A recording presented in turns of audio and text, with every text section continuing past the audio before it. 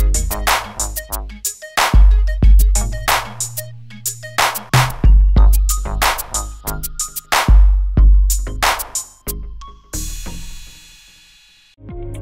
Сотрудники ГИБДД начали проверку дорог Наукограда, сообщают бийские рабочие. В ходе проверок будут выявляться выбоины, которые влияют на безопасность дорожного движения. Чтобы недостатки были устранены, автоинспекторы планируют выдать предписание, либо принять меры административного воздействия к владельцам дорог Бийска.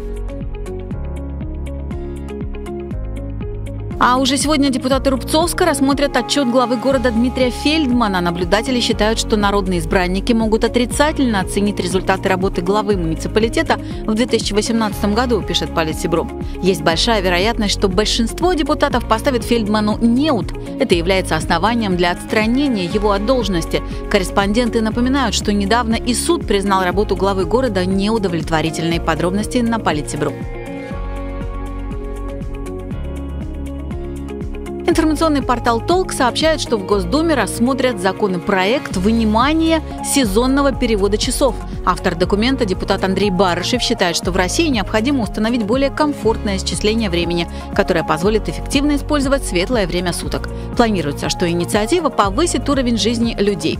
Мы не будем напоминать, сколько раз выдвигалась подобная инициатива и сколько раз говорили о том, что больше переводить часы в стране не будут. Барнауле проведут акцию «Час земли». Акция всемирная пройдет 30 марта. Суть ее заключается в том, чтобы в назначенный день ровно в 20.30 на один час отключить свет.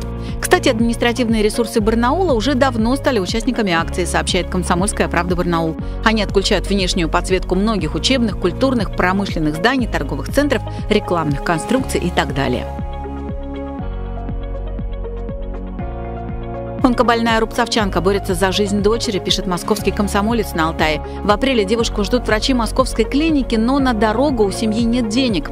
Мама Ангелины Девушки, у которой диагностировали опухоль головного мозга, тоже борются с онкологией. Но здоровье дочери стоит превыше всего, тем более, что есть шанс.